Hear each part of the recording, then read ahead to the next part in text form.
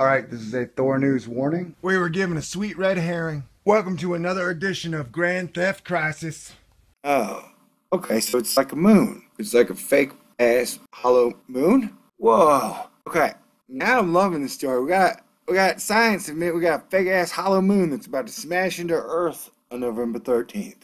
This is a Thor News presentation. Doesn't matter what I believe. Stay cool. Hit the button, baby. Thor News presents. All right, ladies and gentlemen, you're gonna have to forgive me. I went to California, I broke my video camera, and then my computer broke, and now I'm just trying to make do. So, a lot of my videos for the next few days aren't gonna have a lot of bells and whistles. I hope you can bear with me. But once I got my head screwed back on straight, I was looking at this going, WTF? No, seriously, it's called Alien Space Junk UFO WT 1190F. And it's going to crash into Earth on the third Friday of the 13th of the year. What does that mean? I really have no idea. Like, what the hell, man? So I guess let's learn together. Though, since I've been out of the loop for a few days, probably the first time you've heard about this. But it seems pretty weird. Okay, we're going to kick on over to heavy.com. And this is news. What is WT 1190F? Question mark colon five fast facts you need to know, and you need to know them right now. But Stephanie Doobie DeWilson. That's a, weird name. Okay, there's Earth. Oh, oh, shiny and blue, semi-flat or whatever. WT 1190F is hurtling towards Earth, and no one is sure exactly what it is. You should ask Phil Plait. He knows a little bit about everything. Although, if you want to be told the answers to all things in a more smug fashion, you should ask Bill Nye. But he doesn't talk to little people, so forget about it. WTF is hurtling towards Earth, expected to reach us by November 13th. No one is actually sure what the space object is. Some speculate that it's man made and not an asteroid because it appears to be hollow. What do you mean it appears to be hollow? But exactly where the strange object came from is not known yet. Now, here's what you need to know. Number one, WT 1190F has a trajectory that looks suspiciously artificial. Woohoo! Three photographs. I'm so impressed. It gives like an Atari 3600 a bad name. What are those two giant dashy colon things at the top and bottom? I do not know. It doesn't help me a lot. Oh, WTF is observed from Hawaii on October 9th by B. Bolin, R. Jedicke, and M. Mitch Ellie. Sweet. WT1190F is not thought to be an asteroid or any other type of natural object because of its trajectory and highly elliptical orbit. The Scientific American reported the orbit suggests that the object, which is just 1 to 2 meters in length, period, has a low density and may be hollow with a thin shell. It's likely artificial and not natural. Experts agree? Kind of crappy sentence is that? Like all experts agree on this? And who exactly is an expert of hollow, unidentified space garbage? Other than Bill Nye and Phil Plait, of course. And maybe Mike Brown, who loves it when we say his name, Mike Brown. Okay, but yeah, so all the experts agreeing on this. It's like climate change. 97% of unidentified space objects that are going to hit Earth experts agree that it's artificial, not natural. Though they do not mention whether or not reptiles or reptoids anything to do with it. And reptoids are half cyborg, half reptile, if you didn't know. See, you're learning shit here. So Max, I just made that up. The object may land near the Indian Ocean. May. The object may land near the Indian Ocean on November 13th, or it may burn up when it enters the atmosphere. Or it may transform from a piece of space junk into like a humanoid robot, like a Transformers, right? I mean, it's possible.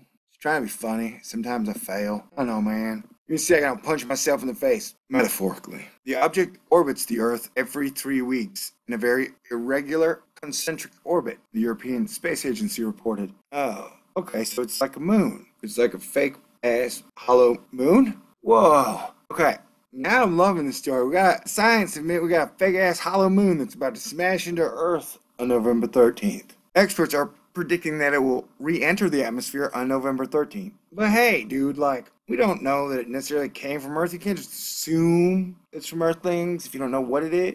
It fall into the Indian Ocean off the southern coast of Sri Lanka. Most of it will burn up in the atmosphere. You don't even know what it is. I mean, if it's supposed to go to outer space, maybe it's made to withstand the heat of reentry. But it'll provide a spectacular show. Ooh. And brief brightening of our sky in the middle of the day. I hope it's not atomic. We put a bunch of atomic shit up there. The size should be too small to pose any risk to people in the area. Although Bill Gray, astronomy software developer, said that he wouldn't necessarily want to be fishing right under it. According to the Scientific American? What?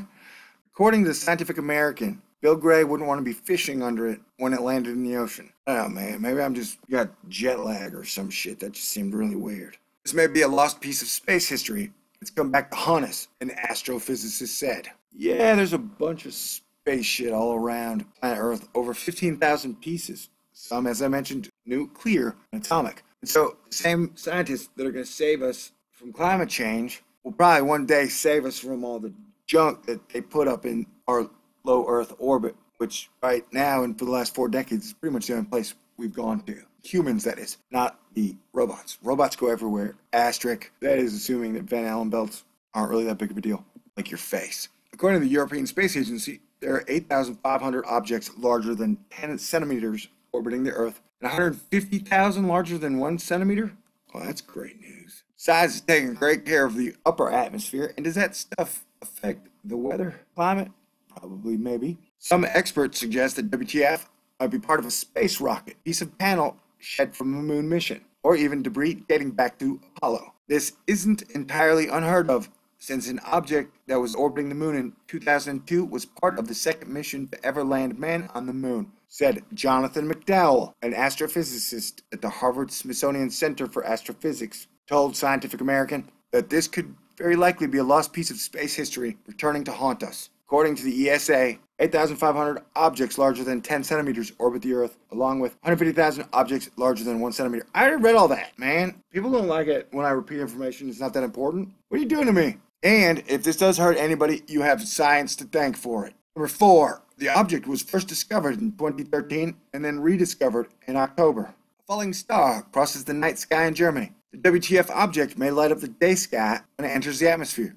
Ooh, day sky fireworks shows are rare. The object was first discovered by the Catalina Sky Survey in 2013. The European Space Agency reported. The same team has observed it several times since and was keeping track of it. Bill Gray, a poster in the Asteroid and Comet Researcher Yahoo group, wrote that the area and mass of the object was almost exactly the same as Discover and changed it T's and threes boosters. All right, that information didn't help much. I don't think I needed to know that. Five others think the object may have more mysterious origins. And I, that just means number five, not that only five others think it may have more mysterious origins. Go to YouTube, I'm sure the numbers can be way higher. John Hattenback said, not sufficient to cause threat, but show be spectacular. Wait, that doesn't have anything to do about mysterious origins? Not everyone is convinced that WT 1190F is just a man made piece of space junk.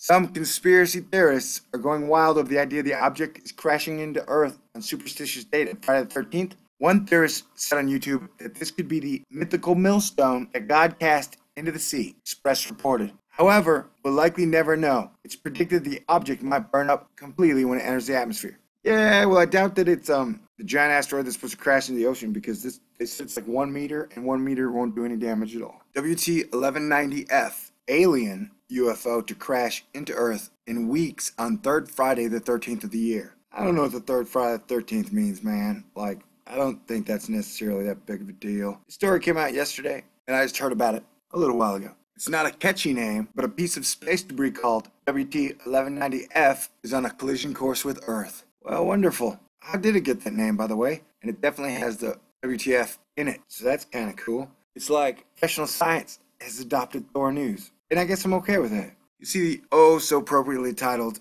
WT1190F is expected to hit Earth November 13th, or WTF for short. It's likely a piece of space debris left by man from a previous space mission, maybe even one of the Apollo missions. But since scientists don't know technically what it is, that means it's an unidentified flying object. An important reminder a UFO is any unidentified flying object. I just said that, not just one of suspected alien or supernatural origins. And that's great, because there's this whole like herd of people who comment on videos without ever actually watching the videos. It's really bizarre. So anytime I put UFO in the title, they're like, it's fake, it's not a UFO. And I'm like, well, dude, no, it is. Nobody can identify it, so it's definitely an unidentified flying object. Like our friend the Halloween asteroid, TB145, they don't know if it's a comet or an asteroid. So that thing is totally a UFO. You know what? After this video,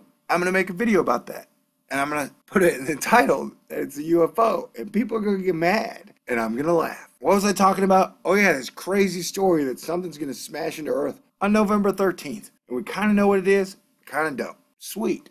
WTF 1190F isn't expected to inflict any significant damage to Earth, since much of it will probably burn up in the atmosphere. The remaining portion that does make it to Earth is expected to land in the ocean near Sri Lanka, meaning we may never know exactly what the mysterious debris is. The discovery is helping scientists track objects as they come toward Earth, which could potentially be more which could potentially be more important if a larger projectile should fly into the planet and have a considerably larger impact. Welcome to modern technology where as soon as a thing is a thing, it's on Twitter as a thing with the thing of its name, talking sarcastically. Here we have at WT1190F talking about I hear Sri Lanka is nice this time of year. And you know what? If somehow this does cause damage, that thing is an asshole. How would you feel if everyone called you a hollow piece of space junk? Um, I don't know. Maybe one day I'll find out. That's all I get in this story. This comes from the Canadian Journal. My uncle said never trust anything out of Canada. Um, so maybe he's right, because that's a poorly written article. I don't feel like I know much about that now. So this story is weird, and I'm sure we'll follow it again. But I need to get back to the Halloween asteroid because I got a couple more things to say about that one. So sorry if this one's rusty and kind of crappy. I apologize. I'll get back on it at least by November 3rd. Sweet. God bless everybody. Stay cool. If there are any other fascinating stories that might have happened in the last four days, go ahead and leave it in the comments section because I've totally been out of the loop. Man, you're great. Peace out.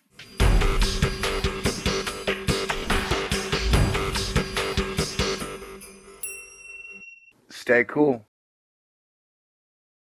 This is a Thor News presentation.